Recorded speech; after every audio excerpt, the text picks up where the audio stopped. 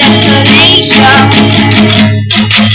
I realized quickly when I knew I should that the world was